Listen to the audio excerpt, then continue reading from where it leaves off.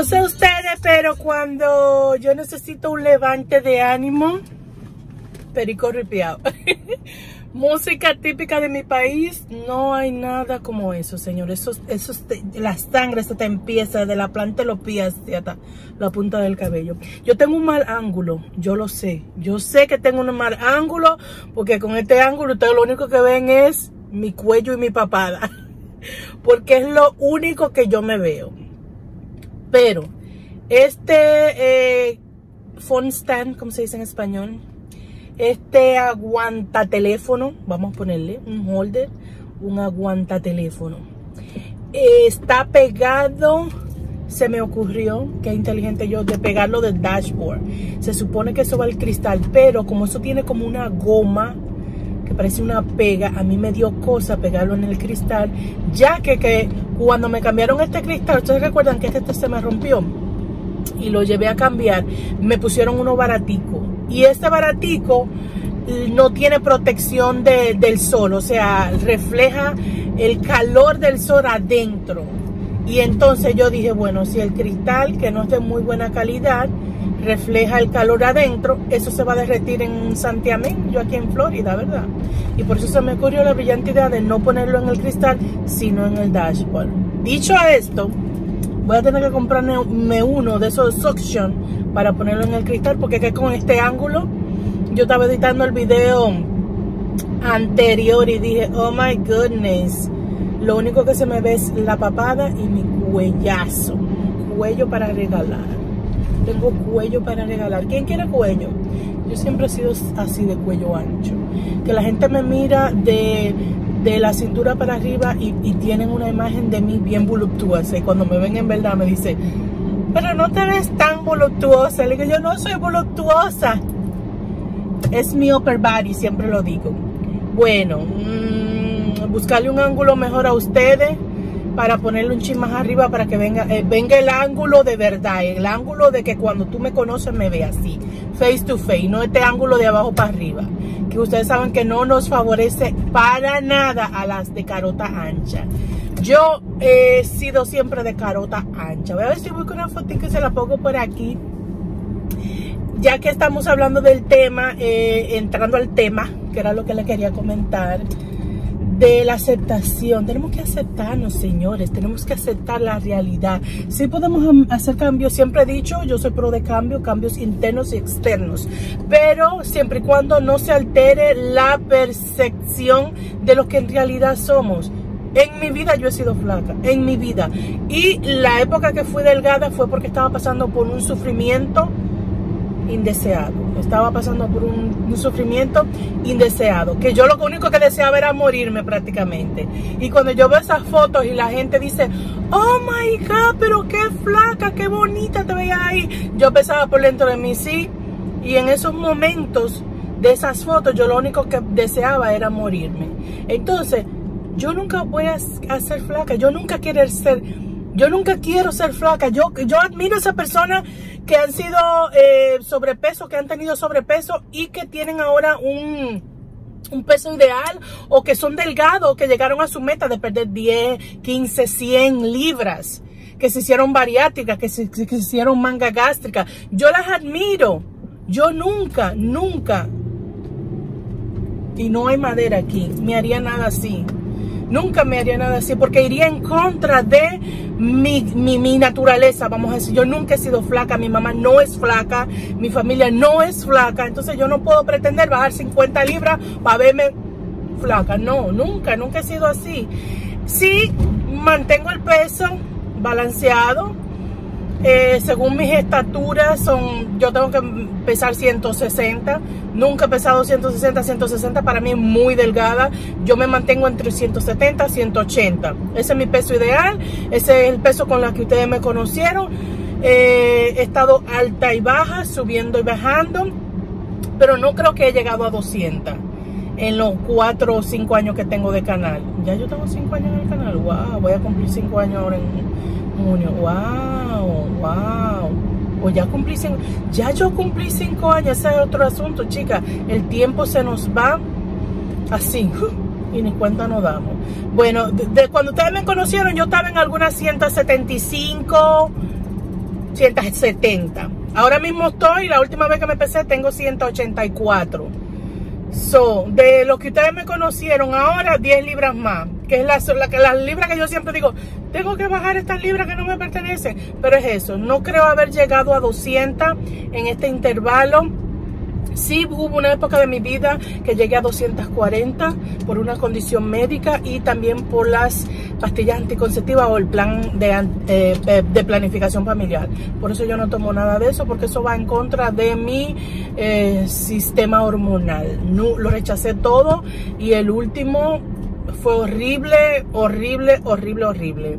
Bueno, dicho esto mi meta para cuando yo cumpla mis 40 es estar por lo menos en mis 175, 170 sin esforzarme, sin hacer dieta, sin hacer keto, sin hacer eh, vegan, sin hacer eh, eh, pastillas, sin hacer ejercicio. No, a un estilo de vida normal, comiendo lo que yo quiero comer con medida medida de que si un día me da deseo comerme una pizza, yo me la como, pero no es que me voy a comer cinco pedazos de pizza, un pedazo de pizza.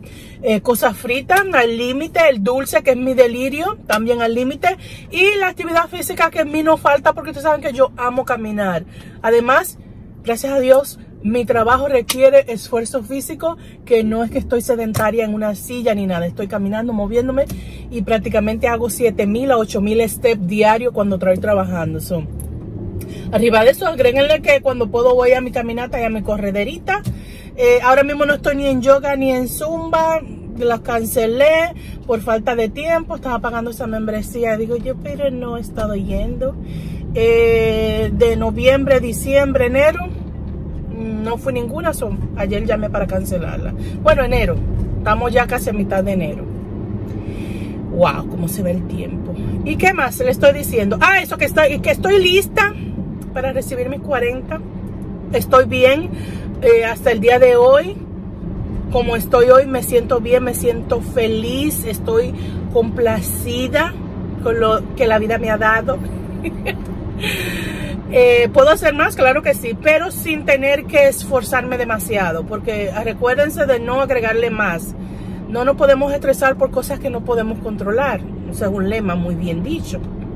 Entonces, si yo cumpliría mañana mis 40, estaría feliz porque, ok, estoy bien, yo amo mi cuerpo, como les digo, eh, acepto la textura de mi cabello, amo mi cabello rizo, amo mi cabello alaciado, no tengo nada en contra. Me lo cortaría un buen, sí, creo que voy a cortarlo.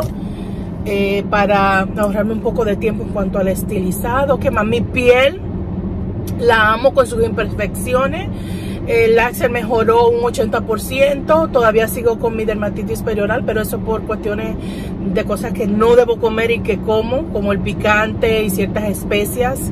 O sea que está en mí controlar eso. No me puedo quejar de que tengo un brote aquí, de que tengo un brote allá, cuando yo misma soy la que me lo estoy provocando por no dejar de comer cosas que se supone que no tengo que comer. Pero el ser humano ama las prohibiciones. Dígame si es cierto o no.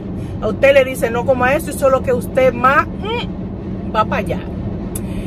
Y nada, yo quiero ser, ser de ejemplo, quiero servir de ejemplo a aquellas mujeres que están en su casa, que me están mirando. Oiganme a mí, estoy hablando como que si estoy en un canal de televisión de 200 mil espectadores.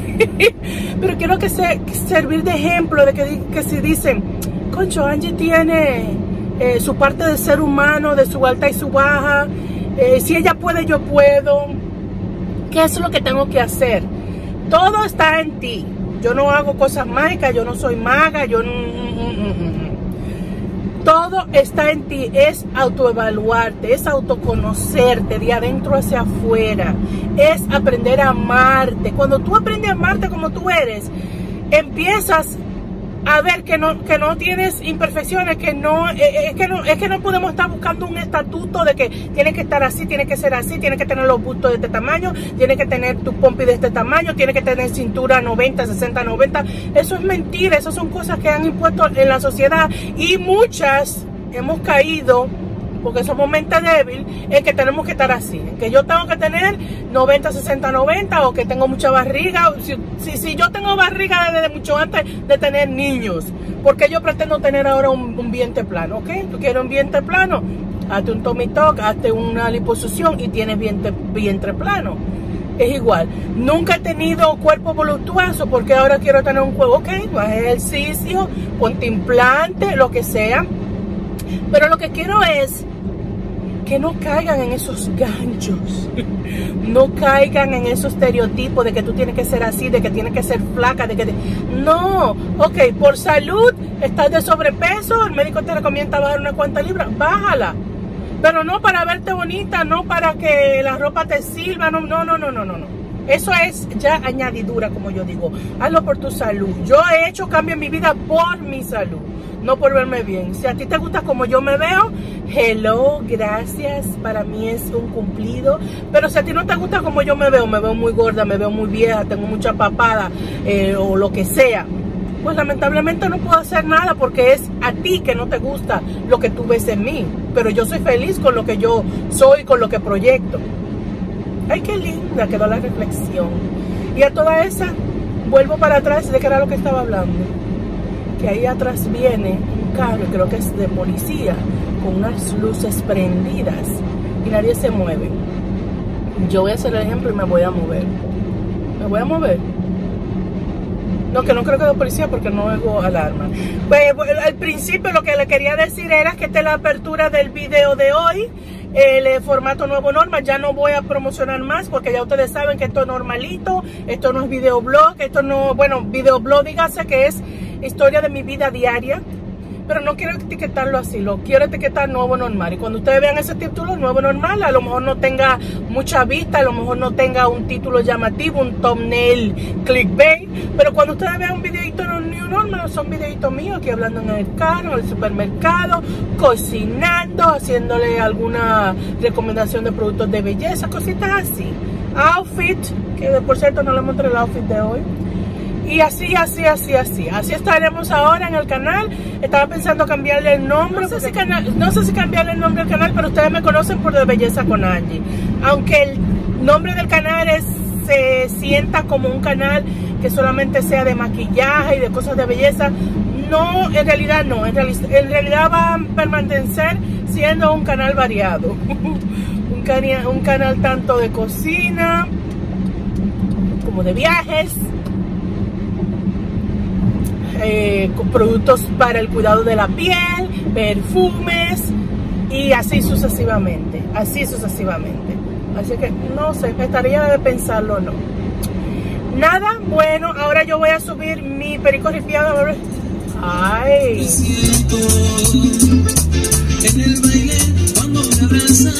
es Joe Vera. Joe Vera.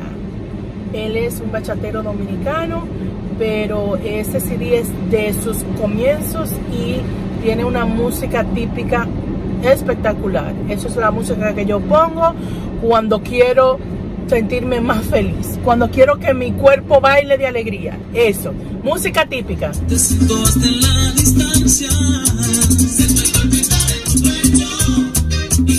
Y nada, para que no me den copyright, aquí las dejo. Yo sigo rodando cámara, voy a hacer diligencias eh, mi último día libre de la semana. Luego ya ustedes saben, a la yuca, pero nada, sigo rodando cámara. Chicas, quería mostrarle eh, lo que me tejí para primavera. primavera, regalito de cumpleaños de mí para mí. Me hice un set, porque recuerden el último que tejí, se lo dejé a mi mamá en New York cuando fui en octubre. Esta vez decidí con una con un hilo, la vez una tela, con un hilo de algodón para que fue, está mirando los dulces y está mirando los chips. Esa es, ese es mi comfort food over there, los chitos. Y aquí son un pote de chocolate eh, que me regaló el esposito. ¿Cuándo fue eso? Para Navidad creo que fue. Ya ustedes saben, ahí está escondido. Este hilo es de algodón, lo que es más, absorbe más calor y no, y, respira. O sea, el, hilo normal de lana, que es acrílico, hay veces que da mucho calor y como que pica. Este no, este es, eh, creo que es 80% algodón, 20% eh, lana. O sea que es una mezcla, es mucho más suavecito, es una cosa así como la mantita de los bebés. Es tan suave. Empecé, este rollo yo lo tenía ya, yo lo había comprado con la mudada. Yo creo que yo lo había comprado cuando hice el de chocolate, el, el, otro tono. O después. Ay, no, no recuerdo. En fin, era que yo tenía este color, este, este hilo. Y se veía tan bonito para, como para primavera, sí, otoño, primavera. Entonces, empecé, ustedes saben que a mí me gustan esta bufanda tipo chal. Esta es más tupida que la otra. La otra es más, eh, tiene los huequitos más grandes, déjame le muestro. Esta, esta es la primera, ¿se recuerdan? Ven, los huequitos, es otro tipo de tejido. Los, los palitos son más largos y las cadenetas son más largas, lo que hace más respirable. O sea, los huequitos son más grandes y esa es también tipo chal. Ustedes han visto esta ya, esa fue la que me tejí en charlo. Pero esta, los palitos eh, son cortos y, y, no y es puntada. O sea, no tengo cadeneta entre ¿Cómo le explico? ¿Cómo lo explico? No tengo cadeneta entre, entre palitos, ¿ven? O sea, aquella, la diferencia es que entre cada eh, set de palitos de tres hay una cadeneta de tres. Aquí no hay cadeneta, aquí solamente hay una puntada. Y los palitos son cortos, mientras que en esta los palitos son largos. Esa es la diferencia. Lo que esa la hace un poquito más fresca, aunque sea de lana, esta la hace... Eh, fresca por el, algodón, el hilo, pero tupidita a la vez. So, que me va perfecta. Entonces, esta empecé.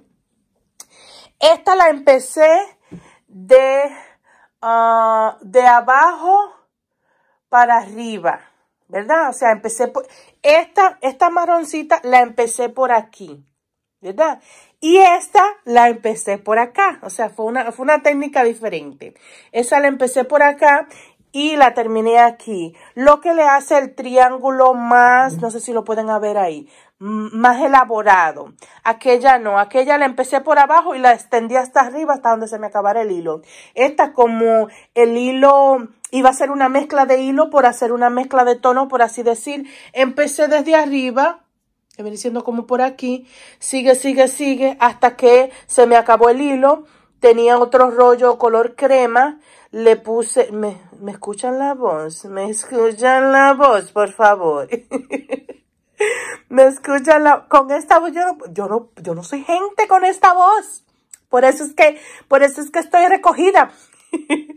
Pero este cortecito se lo quería agregar aquí porque siempre se me olvida agregárselo ya se lo voy a agregar. Entonces lo que le quería decir era, miren cómo le uní aquí y ya le terminé con una, dos, tres, cuatro, con cinco eh, hileras de la misma, eh, del mismo tono del principio.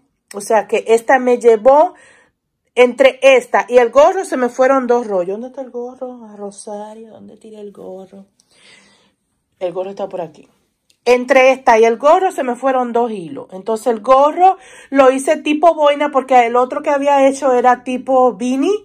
Este como tipo, bueno, no boinita, sino que queda más suelto. Queda como apretadito aquí y suelto. Y entonces quería hacerle la, el pompón, pero ya no, no lo voy a hacer pompón. Y queda muy bonito la combinación. Y eso lo tejí eh, prácticamente en cuatro, cuatro días me demoré cuatro días. La bufanda y el gorrito. Ese es mi set de primavera para cuando me vean por ahí en alguna fotico o en algún blog. Eh, ese me lo tejí reciente. estoy tratando de hacer cada año tejer un set. El del año pasado, como le digo, se lo dejé a mi mamá, que era la bufanda gris. Este año es este y el año antepasado me hice la este tono chocolate bien lindo para otoño. Me encanta. Me encanta, me encanta, me encanta. Y nada, yo sigo rodando cámara, que ya eh, me está llamando el café. Chicas, andamos por aquí perdidita, pero nada. Quería mostrarle la mejor tuna de la bolita del mundo. La mejor tuna. Esta tuna es tan espectacular. Esta tuna está de muerte lenta. Es esta. Le voy a dejar un screenshot. Esto viene en aceite de oliva cariñosamente cara, pero vale cada centavito. Esta se la recomendó uno de los ah, trabajadores eh, que trabajan con el esposito y estoy adicta. Vine corriendo con hambre.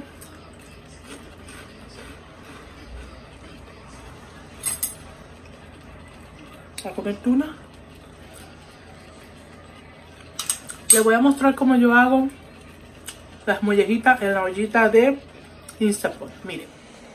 Esto es una receta muy fácil, muy rapidita. Ya yo tenía las mollejitas adobadas aquí desde ayer.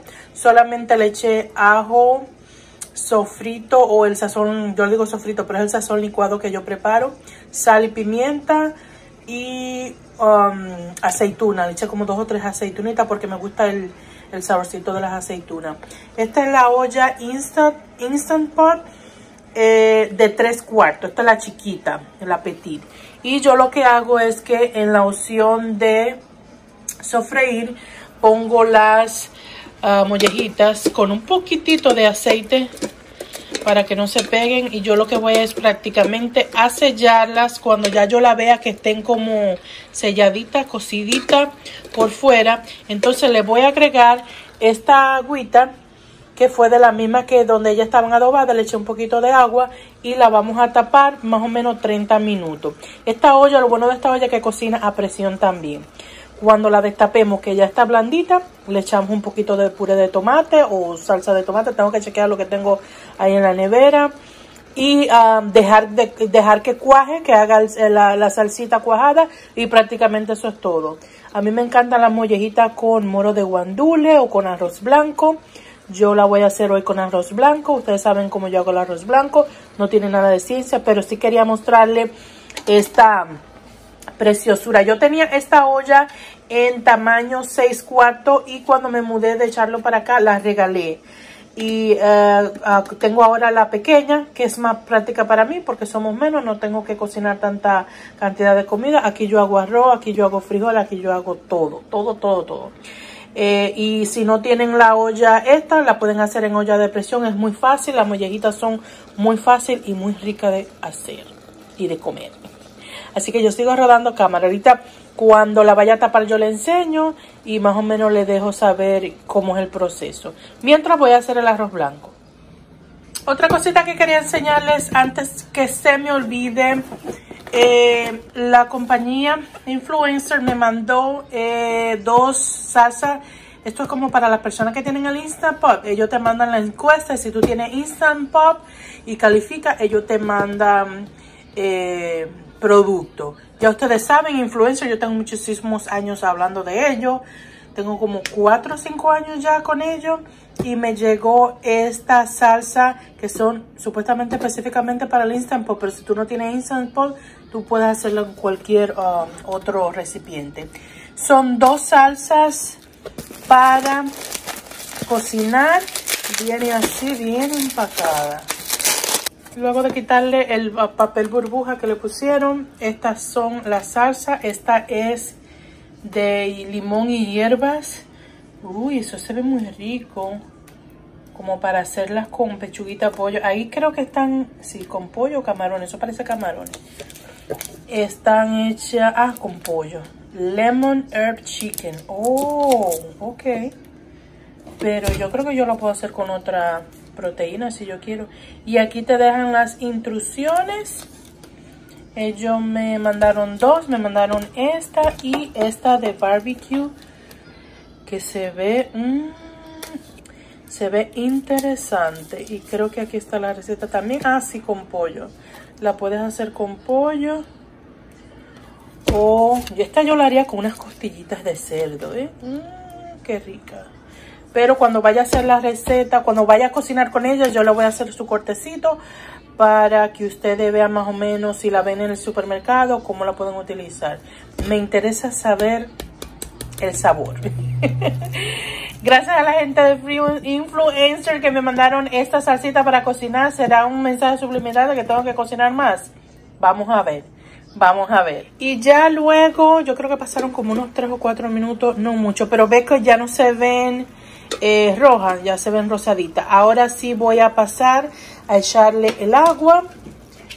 Esa es su propia agüita, me gusta cubrirla bien con su propia agüita. Y ya lo que paso es a, yo cancelo la opción de sofreír y voy a hacer ahora la opción de pressure cooker. Ella está predeterminada a 30 minutos Eh, yo creo que 30 minutos es suficiente. Ya cuando ella se termine de esos 30 minutos, ella se apaga, se apaga y se queda en warm. Entonces ya luego yo vengo, le quito aquí el vapor y verificamos cómo están. Así que eh, la magia de la edición. Nos vemos en 30 minutos. Ya eh, se terminó el tiempo de cocción. La dejé un ratito más porque estaba limpiando una sartén que es bien difícil de limpiar. 13 minutos. Ya yo le había ha sacado el vapor aquí, pero le queda otro poquito.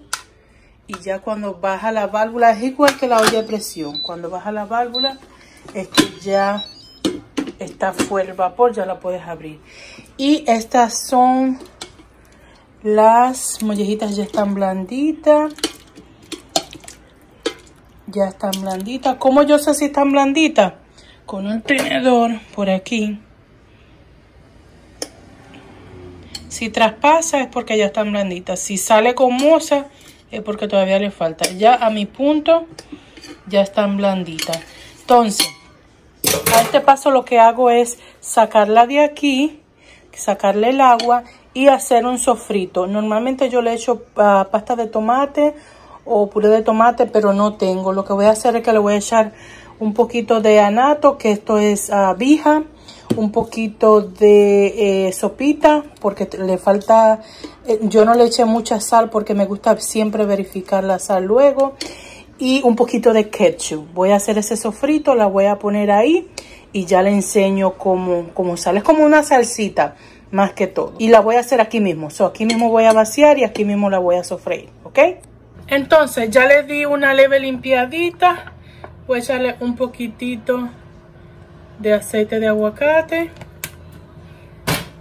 Le voy a echar un cuartito, no mucho, de caldito de pollo o sopita. Ok, ya una vez, me gusta que la, que la sopita esa se derrita. Le voy a echar un medio tomatico picadito, uh, un cuartico de cebolla, y por último voy a dejar aquí un diente de ajo picadito. Me gusta dejarlo de último. Y el ingrediente principal para darle color, una piquita.